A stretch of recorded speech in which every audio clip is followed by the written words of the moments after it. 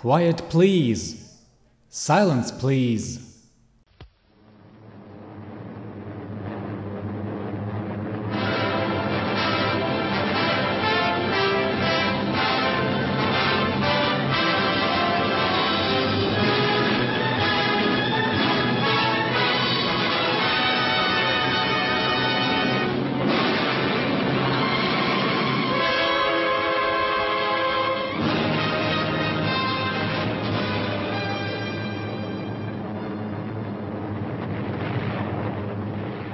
From Ploiești to Paramushiru, from France to the Philippines.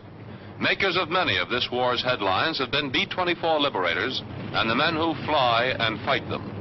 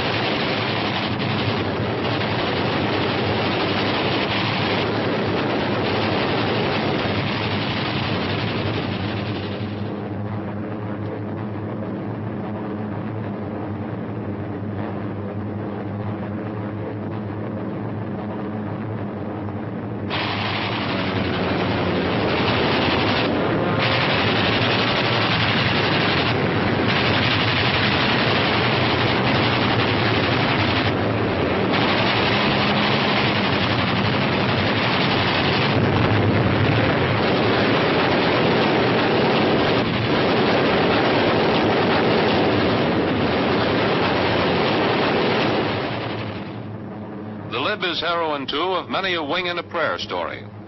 Flak gutted 24 brings back airmen.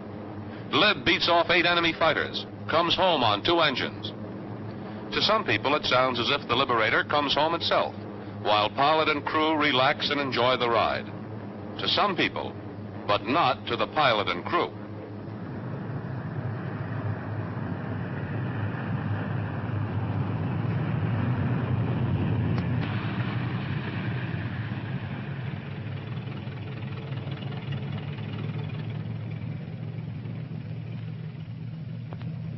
The men who flew safely back from battle in these planes know the B 24's ability to take punishment is only half the story. A good solid half, but the other half is know how. It's the sum total of information you have about any plane that will determine whether you can bring it back after it has been badly shot up.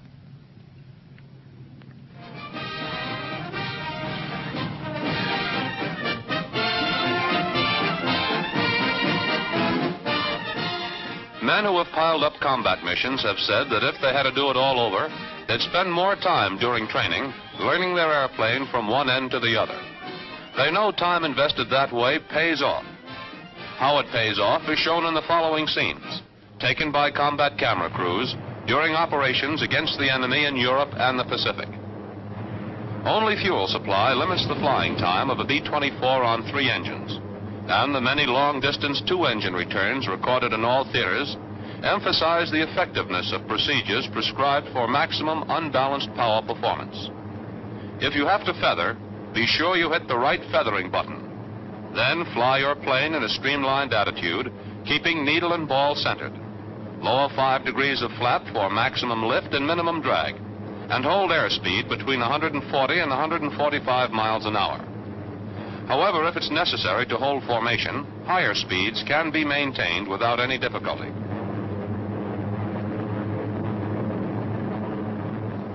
If number one or two engine is feathered, check your vacuum pump and turn selector valve to the good engine. But while this is sufficient in fair weather like this, if ice is encountered, have one of the crew periodically switch the selector valve from good to feathered engine to keep both de-icer and gyro equipment operating.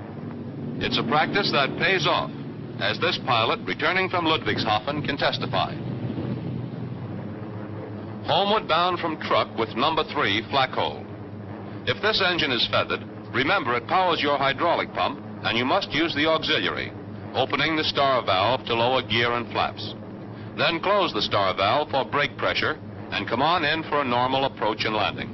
Like this one, ending a strike at northern Italy.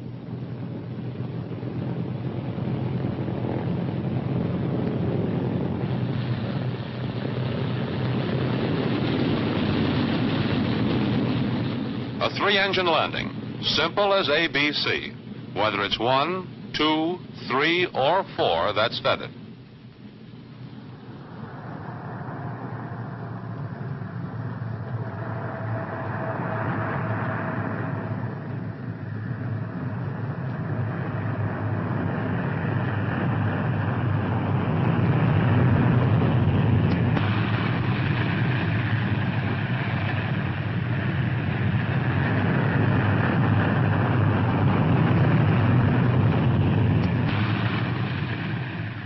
Evidence that even two engines provide ample directional control for a safe return is this landing in Yugoslavia with one and three feathered.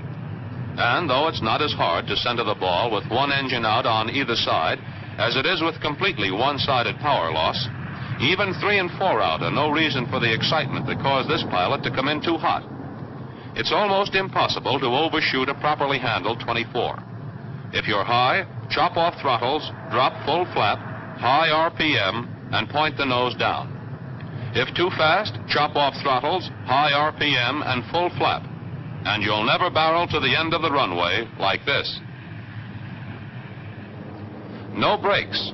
Number three feathered and the auxiliary hydraulic system shattered over the Balkans.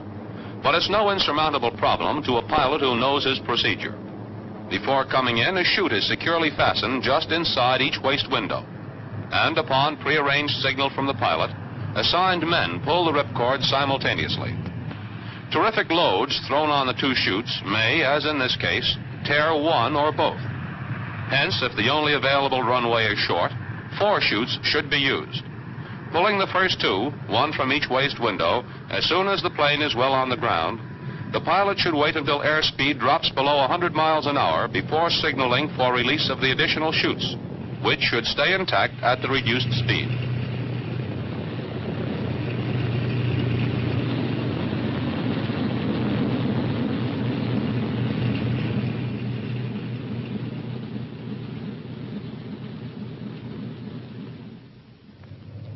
Care should be employed in securing the chutes to plane as insurance against their tearing out waist gun mounts. The camera catches a pilot peeling off at Morotai for a belly landing demanded by a smashed hydraulic system and other damage that prevented manual lowering of the gear. And he's down. A 24 greased in on her belly by a skipper who knows the formula. Slow airspeed to minimum and use full flaps. Pick a smooth, hard surface, a runway if available, and make a normal approach and landing, while the co-pilot reduces the danger of fire by cutting all mixture controls and ignition switches just after contact.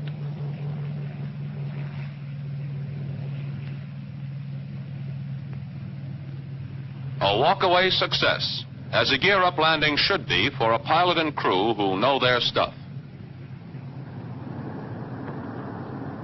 A 24 returning from a raid on Wewak being brought in with a retracted nose wheel and both inboards feathered. And there's an error here you should be watching for, but it only emphasizes how simple it is to do this right. For the right way is common sense. Have the crew in the bomb bay catwalk or just aft of the bulkhead. And then just after the main gear is on the runway, give them a signal to walk toward the tail.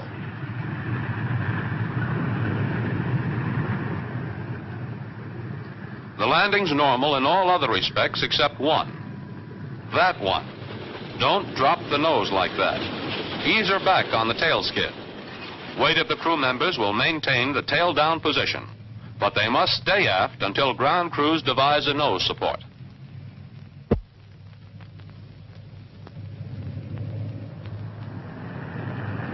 Evidence at Eniwetok that for an alert B-24 pilot and crew, blown out tires hold no hazards. The left main tire is flat.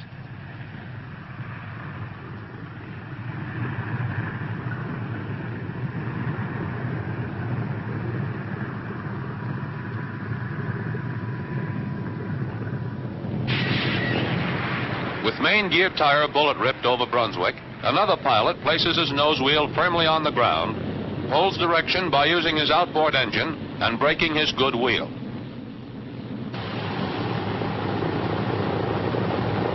The slight turn left is due to hitting soft ground. This is a reminder that the pilot should do all possible to keep his craft on a hard surface runway for maximum control.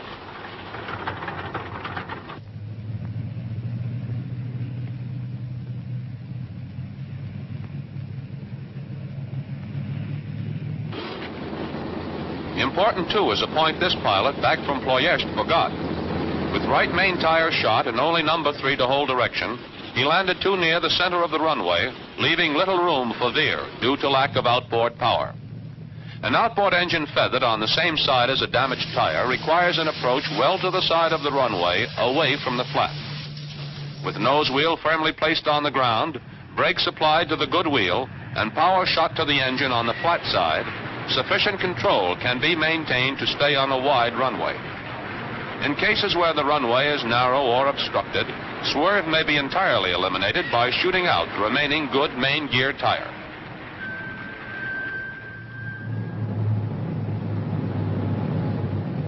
Ease with which a 24 can be brought in with a punctured nose wheel tire is evidenced here in a landing scarcely distinguishable from normal. The pilot took a chance at this point, however, by letting his nose wheel touch too soon. Absolute safety calls for holding the nose wheel off as long as possible, balancing the plane slightly tail heavy, using full elevator trim tab if necessary. Handling your plane in that manner guarantees the kind of landing this 15th Air Force pilot got the rabbit's foot way.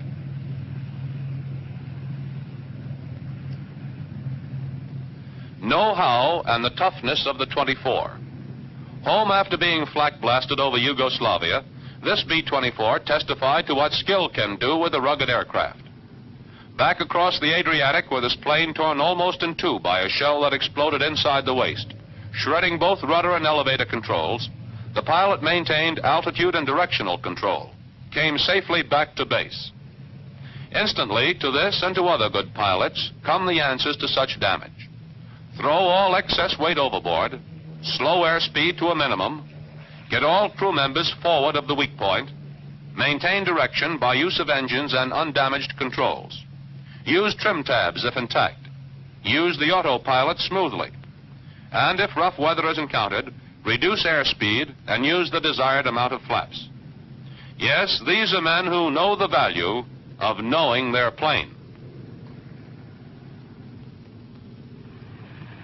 Victim of a freak accident, this 24 returns as proof of the way a pilot trained to handle standard difficulties can get the utmost in stamina, strength, and performance out of his plane to meet unexpected emergencies. Over Parma, Italy, another aircraft crossing beneath this 24 caught one vertical stabilizer on its nose. So violent was the impact that the stabilizer was pinned on this bomber's twin 50s. Flung out of control, the plane dropped from 21,000 to less than 2,000 feet before a pilot brought her out straight and level. Headed finally home, he had to pour on more power immediately to overcome the greatly increased drag created by the obstruction on the nose.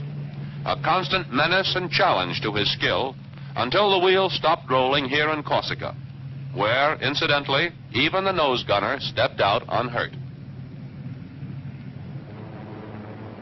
The only film in this picture not shot under combat conditions are these scenes of a controlled experiment flown out of Langley Field, Virginia. Here included for the graphic tips they present on the rights and the wrongs of ditching a B-24. And the experimental plane is airborne, deliberately headed for a water landing. Correctly made here for a slick surfaced sea, the standard approach and set down are into the wind. But remember, if the sea is rough, the landing should be made parallel to the wave crests.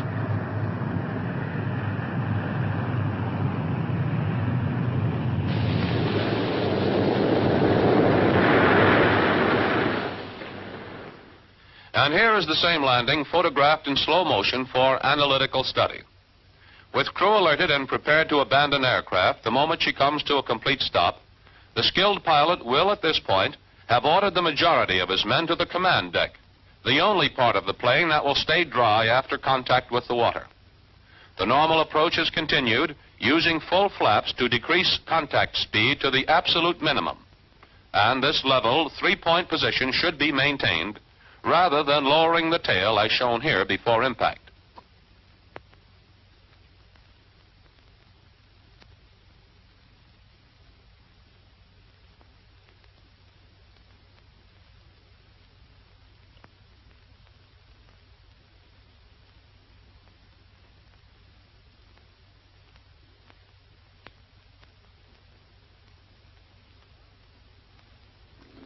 The pilot and co-pilot who undertook this mission without a crew are picked up by the standby launch, safe after their experiment in the field of flying safety. You can take it from them and from every one of these men, pilots and crew members. When you take off, you want to be alert to every capability of your plane.